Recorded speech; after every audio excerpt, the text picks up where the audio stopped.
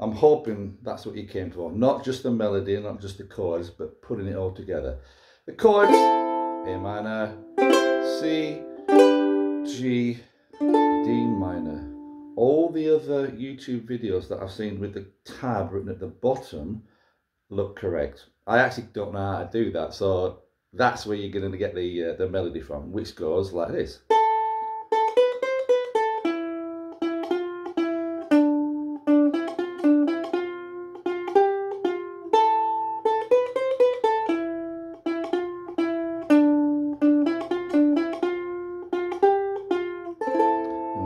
I'm playing single notes.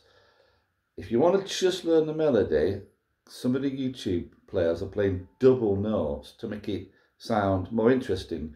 You don't need to learn that if you're going to put the chords and the melody together because the other notes that you would play to double them up are already in the chord. So for example, there's no point in playing first and second string because it's already in the chord of E minor, A minor, A minor. Now, A minor, I'm using my ring finger, my little finger.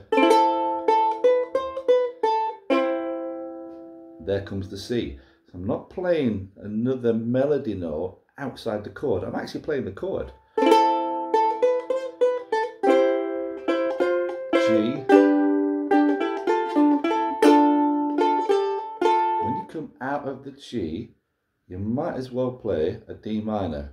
You're going to play two bits of the D minor separately if you play just the melody, but when you come out of the G, bang, bang the D minor down and all the notes are there already in the melody.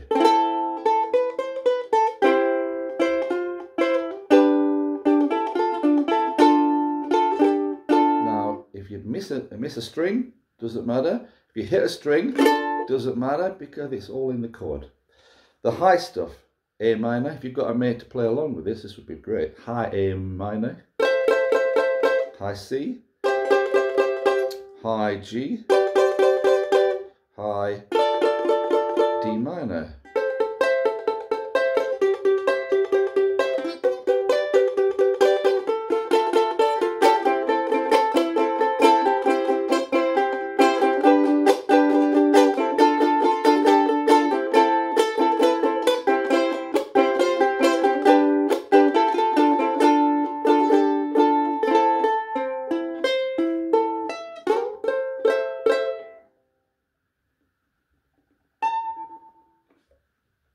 Give it a go. I'd like to hear some feedback from that. Bye.